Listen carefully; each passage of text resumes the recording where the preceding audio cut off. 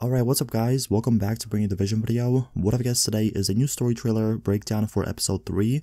Earlier today we did receive a new uh, kind of episode 3 trailer. I want to talk about this, show some information you might have missed from the trailer, also kind of talk about some of the interesting uh, kind of points we did see like the new specialization, the new exotic weapon, and some other information that was shown from the trailer. Uh, so first of all, I will show you guys the trailer in the video in case you haven't watched it. And also, I do want to say if I do miss anything from the trailer, like a specific piece of information or maybe a new weapon or something like that, let me know in the comment section below.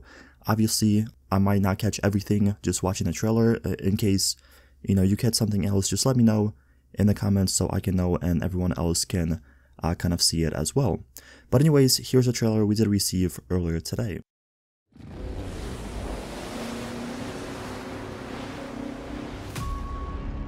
Ever since the virus hit, we've been hunting for a cure. We believe the scientist who can help us is being held on Coney Island. And by the looks of it, the Black Tusk have him heavily guarded. There's no time for caution, Agent. Get him out of there.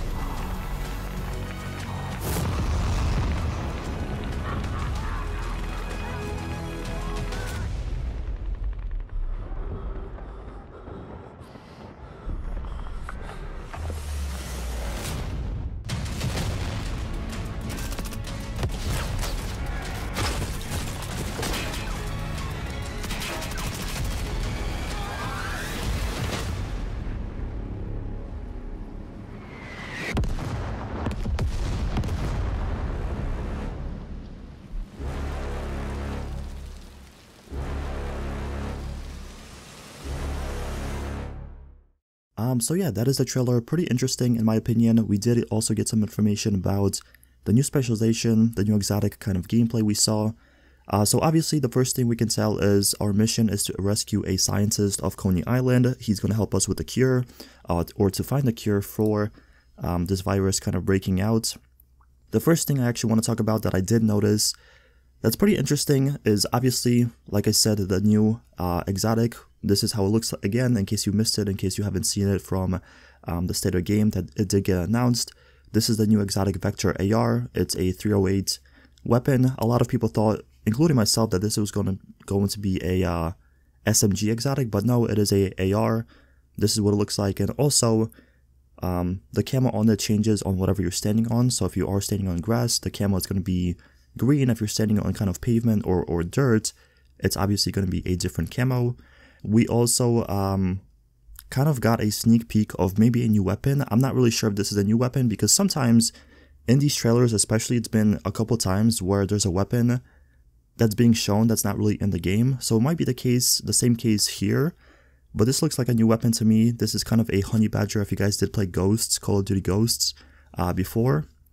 This is pretty much the screenshot you could tell of this new weapon. Um, again, if you did play Call of Duty Ghosts in the past, you can tell this weapon 100% of the time. It does have a integrated suppressor as well.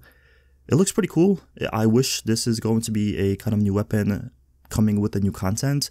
We haven't heard any information about this, but again, this was kind of the different weapon a, a character was using in this trailer. Now, the next thing we can tell, obviously, is we're getting the cleaners back with flamethrowers. This was pretty obvious with uh, the first trailer we did receive on episode 3. Also, it was, I'm pretty sure, talked about on the study game that the cleaners are coming back.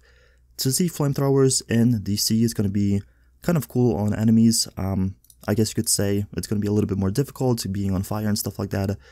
For that reason, you will have to kind of run uh, hazard protection, in my opinion, even for PvE. But also, what's really interesting is that we get another kind of snippet, and this is going to be a flamethrower we'll be able to use as agents as well. So this is going to be the new specialization. It is the flamethrower. A lot of people were, were kind of already sure about this um, from kind of data mining or, or just kind of previous information. But here we have a new confirmation that it is a flamethrower that we're getting. Pretty cool, I would say. Definitely going to be a little bit different. It's going to be a lot easier to clear out some of the kind of groups in um in PvE. I'm interested to see how it's going to work for PvP. But yeah, again, this is kind of the the screenshot or, or the little snippet we did receive of the flamethrower. Uh, let me know what you think about this, if it's a good idea to have a flamethrower as a specialization in the game, or if it's not, let me know what you're thinking in the comments.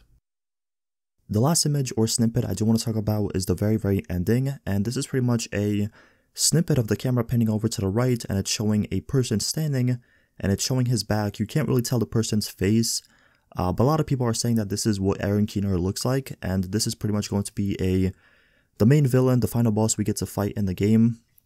Unfortunately, you can't really see his face, what he looks like, but the trailer pretty much ends at this uh, kind of point, and for that reason, a lot of people are saying that this is Aaron Keener.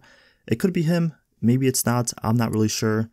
Uh, let me know kind of your opinions or what you think in the comment section below, if this is him, if this is going to be kind of the final boss we get to fight maybe in the raid, or you know, just, just in this episode 3 alone, let me know what you think about this in the comments. But anyway, that's pretty much everything for the trailer. This is everything I found pretty interesting with this trailer. Again, a new weapon, new exotic, the new specialization, and obviously the ending is pretty interesting. Um, of it panning over to, to this person kind of standing and, and just ending like that. So let me know what you think of this trailer. It's not too much information, but obviously we have a kind of deeper look of what episode 3 is bringing to us and just some of the items we're getting as well. Anyway, if you have any more questions, let me know in the comment section below. I'll try to get back to you as soon as possible. But thank you so much for watching, and I'll see you guys in the next one. Peace out.